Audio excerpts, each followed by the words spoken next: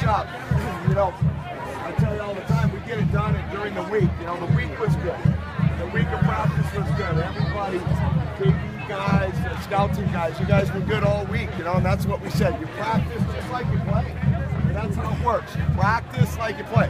Where you win games is Monday through Thursday. That's what you win. I you guys did a great job of that. I think it's starting to kind of come together. Here's the thing you got to remember is that now people are going to start talking about you again. That's good. I mean, that's what you want, but you don't want to listen to them. All right? Because you can't be satisfied with what we've done and where we're at. We're getting better. We're getting better. There's no doubt about it.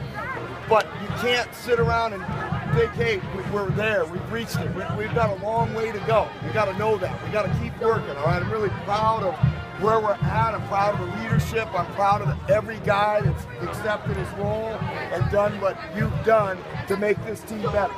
And that's what's important. The other stuff is not important, all right? So now what you've done, which is awesome, you put yourself in a position next week, I tell you every week, the biggest game is the next one, all right? The next game's a big game. You're playing a team that's rated very high. They're a very good football team. Everybody has a lot of respect for them. So you put yourself in a great position now to get this program back to a big time game. We know how to get ready for a big time game. All right, we know how to get ready. You follow us. You do the things that we ask you to do next week.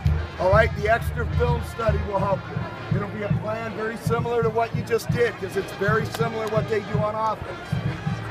You're to have a chance to beat them. You're